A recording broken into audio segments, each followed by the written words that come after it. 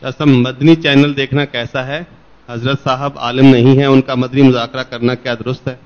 मैं इसको जायज़ नहीं समझता।